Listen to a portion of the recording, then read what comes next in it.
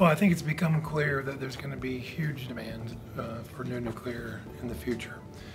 Uh, we recently did a survey of our member utilities that operate nuclear plants, and they identified that uh, they believe they could use up to 90 gigawatts of new nuclear to support their company's decarbonization goals.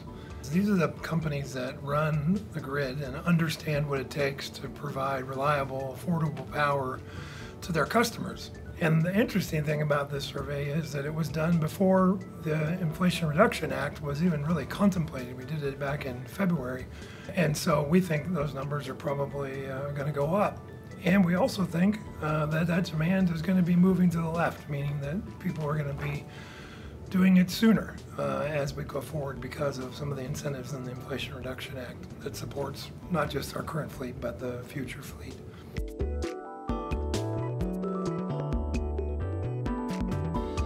In short, no, not today.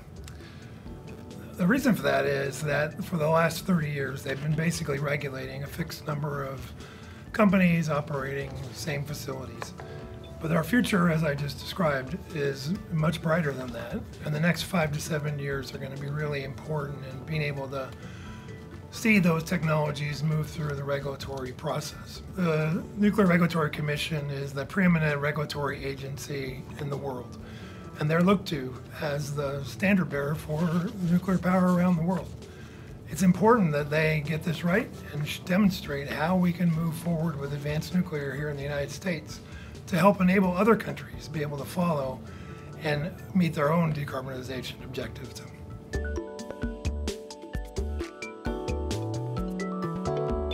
New designs have a lot of inherent safety features that make them safer uh, while still providing the carbon-free, reliable electricity that we're used to. And that's going to require the NRC to take a more risk-informed and performance-based approach. We already know in the next several years there are going to be at least a dozen applications. Uh, we hear discussions about even more beyond that, and those designs are of all different types. And uh, so the processes and practices the NRC undertakes need to accommodate that breadth of applications. One key to this is making sure that we are focused on what's important to safety and that we're not unduly burdening these new technologies with unnecessary baggage or delays in their licensing processes. Once the technology is demonstrated as safe, it should be able to move forward quickly and be deployed rapidly in multiple places.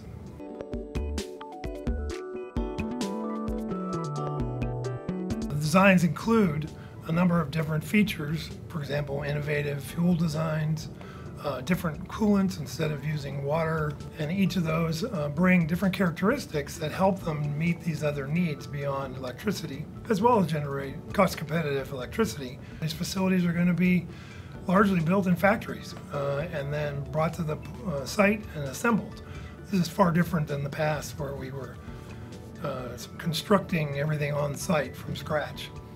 Uh, and that will take a different regulatory view. But it will also allow us to bring them online faster and more reliably and cheaper over time as we get those manufacturing capabilities built up. Some of these designs also have the capacity to potentially reuse some of the used fuel from our current fleet as their fuel source of the future. That'll be a new development for this and could sustain the industry for a very long time.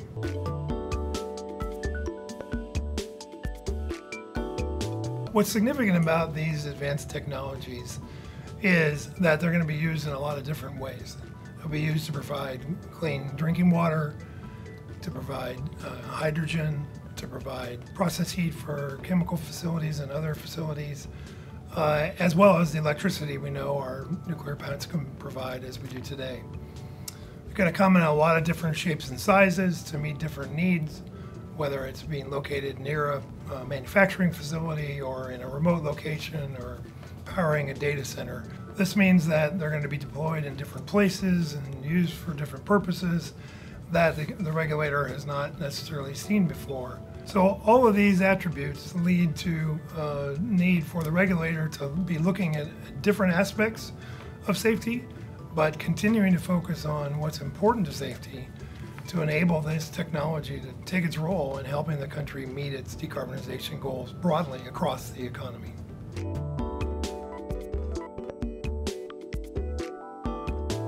We're talking about potentially doubling the size of the current deployment or more of, the, of nuclear plants in the United States. We'll need to invest in, in STEM programs to make sure we have the technical folks to support this. We'll need to be investing in developing trade schools and community colleges to develop the workforces we need to, to build these facilities.